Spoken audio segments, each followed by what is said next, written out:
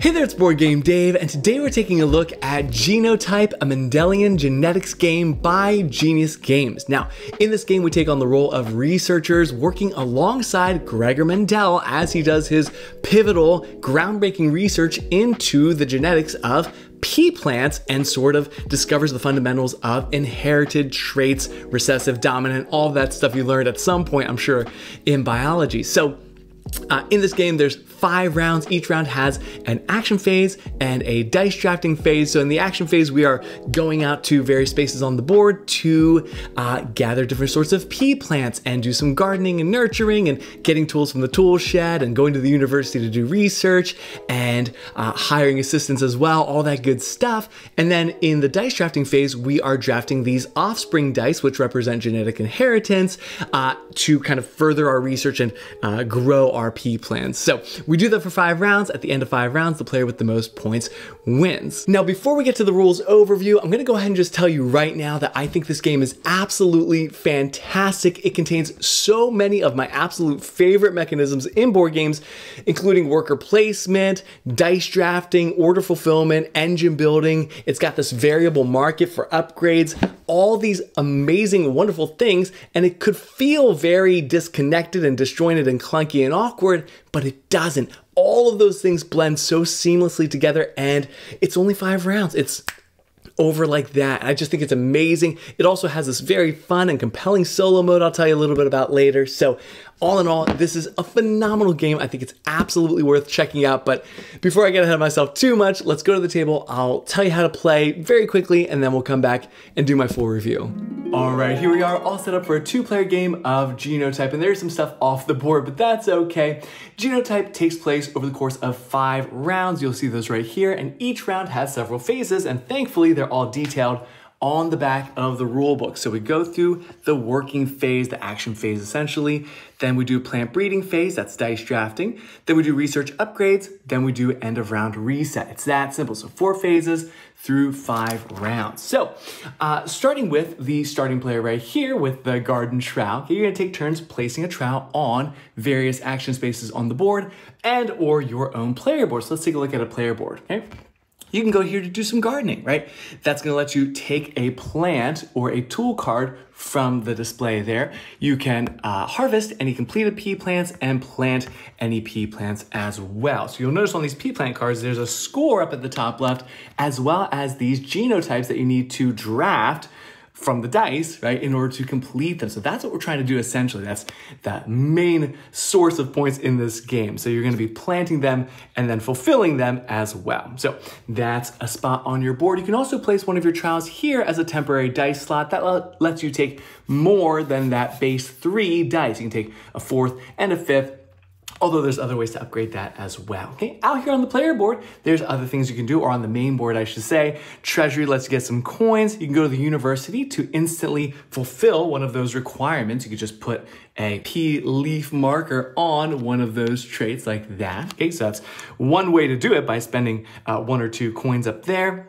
You can come to the nursery to take new pea plant cards, down here to the tool shed to get new tools. Over here on the left side, you can go over here, right, to change the parent genotype. So right now we've got uh, capital lowercase, or we call that a heterozygous dominant parent plant pair, right? But you can change that to capitals, right? You can change it to lowercase on the X or Y axes, and that's gonna change the outcome of the dice rolls, which we can talk about in a little bit. So that's one way you can sort of manipulate the result of the dice. You can also go here and claim first shift. There's also second shift down here as well. It's gonna change the dibs order uh, of the dice drafting. And then down here, you can also set a research goal that's gonna let you put one of your discs on uh, one of these spaces corresponding to various uh, genetic phenotypes. and then you'll score extra points for those uh, phenotypes on your completed uh, plants. So that's what we're going for essentially. So uh, we work our way around the board, you know, round and round, placing those trowels out to take action um, spaces, and we resolve them immediately for the most part.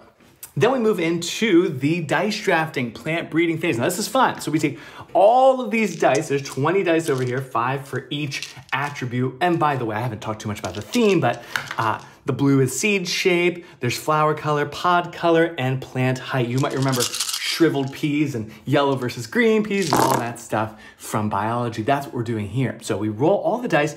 If there's mutant gene ones, we roll them again, but I'll just kind of speed along here. Okay, once you've got your dice all rolled, okay, you're gonna take a look at them and put them in their corresponding spots. So this is where changing the parent uh, genotypes is gonna affect the outcome or at least uh, with the rule of probabilities, it should, right? So we look at our ones, right? Ones would be capital then lowercase. So that is a heterozygous dominant.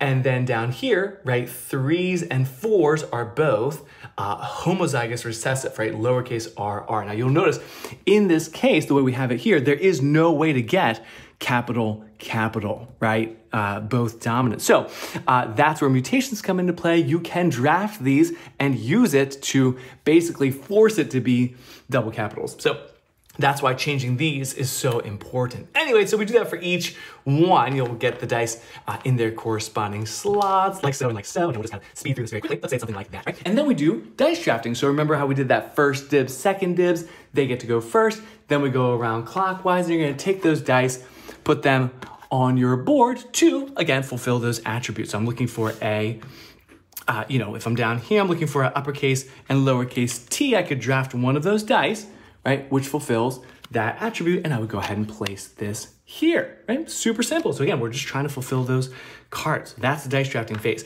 After that, we go into the research upgrades, and that's this whole area of the board here. We do this in reverse player order, and you're gonna pay the corresponding costs up there to get that upgrade. So there's four different types. You can get an extra plot to add to your player board, so that's gonna let you uh, work on multiple plants at a time, which is great, okay? There's a new dice slot, which lets you take more dice naturally during the dice drafting phase. Action marker, right? Each player has two extras here, unlocks a new action, which is huge, right? Getting a new worker, essentially. And then hire assistants. So there's a small deck here, I think there's 10 different assistants, and each has this ability, which is uh, referenced with a fairly uh, cryptic icon, but they're all detailed here as well as the tools. So you can see what the assistants do and they all have kind of special powers, either one-time effects or pervasive uh, effects as well. So you can hire them into your crew. Now, the important thing, and I love this so much, is that uh, as soon as a player, you know, buys an upgrade, let's say they buy a dice slot, that price moves up, right? So as players buy, and you can go around and around and do this, you're going to be moving this up. So they get more expensive as players purchase those upgrades, right? That's it, right? The round uh, end of round cleanup is we wipe the nursery, wipe the tool shed, refill. All of these move down one step, right? So it gets a little bit more cheap. Uh, move this to round two, and then essentially you're ready to go. Take your trowels back, and we do it again. There are some coins for the first player that goes to these locations. We'll uh, refill those as well. But that's essentially it. At the end of the game, you're gonna be adding up points from a variety of places. You're gonna add up all of your completed plant cards, and hopefully you'll get lots and lots of points from there. You're also gonna be checking your research goals. Remember, if you claimed uh, a corresponding phenotype down here, you're gonna check your plants that have that. Let's say I claim this space, right? So for each capital, double capital F and uppercase, lowercase f, I'm gonna get two points. So that would be two points here, two points here, for example, right? Uh, coins are also a point at the end of the game. Unfinished pea plants, you get a point for each leftover um, token, covering up those letters. So that should be it. The player with the most points wins, and that is a basic, quick overview of how to play Genotype. So now that you've got a general idea of how to play Genotype, let's go through my seven point criteria, starting with art and components. And I have to say, the art and components in this game are absolutely superb. I love those custom dice. I love the unique wooden tokens.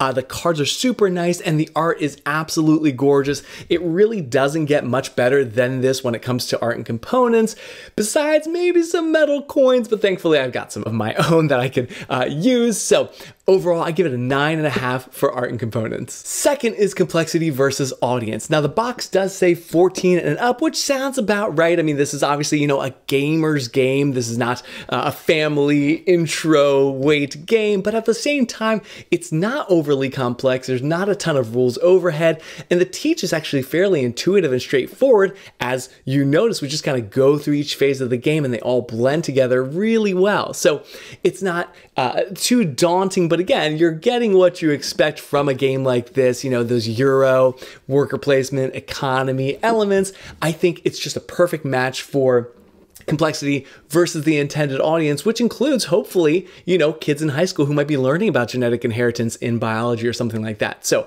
I think the intended audience and the working audience is a perfect match. It's a 10 out of 10 for complexity versus audience. Third is thematic integration. And just like I said last week about another Genius Games, Cytosis, I love how they're able to weave these scientific principles so seamlessly into their games. Those science games by Genius Games are all about teaching scientific principles through board games, right? And that happens brilliantly in Cytosis and in Genotype as well. Now, I will say that this game is not as strictly educational as Cytosis was. I mean, this was like straight out of a cell biology textbook. In Genotype, the whole uh, genetic offspring inheritance. It's probably about half of the game, and then the other half is much more standard worker placement, you know, Euro game stuff. But even still, I think that the theme comes through brilliantly, whether you're, uh, you know, trimming and pruning your pea plants or drafting those different genetic uh, inheritance dice or hiring assistants or researching at the university.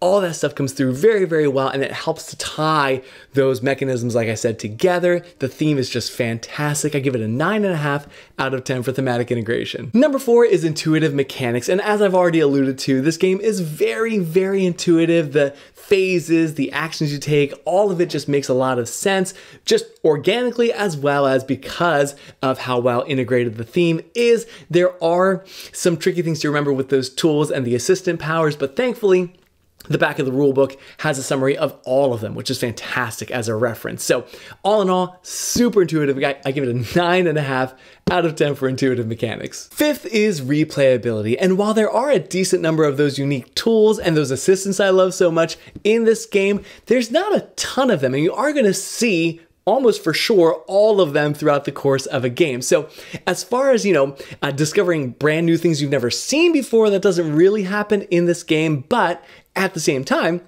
there are a lot of different strategies to explore in this game, which I love, and it just keeps you coming back to try new things, new tools, upgrades, assistants, etc. Not to mention, there is an amazing solo mode in this game with a variety of different uh, difficulty levels, and at the highest difficulty, you can also give the AI opponent a uh, unique, basically asymmetric power that uh, it has for the game, and there's uh, uh, like five different ones. So all that to say, there is a lot of replayability to be found in this game. I give it an 8 out of 10. Number 6 is length and fun factor, and they absolutely nail it here. It's fantastic. It's five rounds.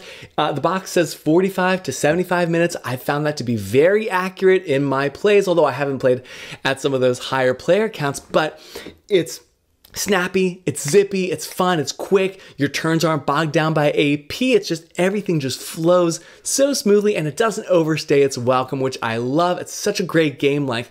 In addition, that whole fun factor, right? Like, you know, does the game evolve or change or does it sort of stay dry and not too different? That is not lost here in Genotype because there is this engine building, this sense of progression as you acquire more dice slots and more garden plots, and you're getting assistants and tools, and each round feels like you can accomplish so much more with your actions. It's just fantastic. It's phenomenal. There's building to this progression, and then the game's over and it's time to score. I love it. The pacing, the flow, the building, the progression, the engine building is all done very, very well. And I give it a 9.5 out of 10 for length and fun factor. And finally, cost versus value. Now, I'm seeing this game online for about 48 to $55, which is a little bit pricey. That being said, you are getting a phenomenal game here as far as the art and the components and the fact that you're getting a game that's going to teach you something or remind you at least about genetic inheritance and those offsprings and dominant and recessive and all that stuff and the solo mode that's baked in and the replayability, all that stuff. You're getting a very, very, very high value game for your 50-ish dollars. So I'm gonna go ahead and give it an eight and a half out of five for cost versus value. And there you have it. Overall, Genotype gets a final score of 9.2 out of 10, which is absolutely astounding. And yes, I am gushing and praising this game to no end, but I really, really love Genotype. Again, it takes all my favorite modern board game elements, essentially, and just breaks them into one quick, succinct, easily accessible package, and I do not think you're gonna find many board games at all that do it so well while also, again, you know, being a part of this scientific breakthrough world theme. I think it's so amazing. You can learn something as you play. It's just fantastic. So, yes, highly recommend you check out Genotype. Someone mentioned on Instagram, I think that it's a bit of a uh, flies under the radar. You know, it's a little uh, underhyped. So, check it out look into it, play it if you can. I highly recommend it. Now, before I say goodbye, I have to shout out my friend Colin Walsh in Ireland. Hannah's sister met him while she was in Ireland, and he's a Board Game Dave fan, which is pretty insane. So, if you are a non US Board Game Dave fan, shout out in the comments. I would love to know where you're from. And in the meantime, if you didn't see my cytosis review from last week, you can check that out right here. If you'd like to hear me gush about another game about monks, but this time brewing beer instead of growing pea plants, you can check out this video in which I mentioned Heaven and Ale, one of my ultimate favorite games. You must check it out. That's another underrated gem. So check this and this video out. In the meantime, have a wonderful week. Take care and happy gaming. Bye.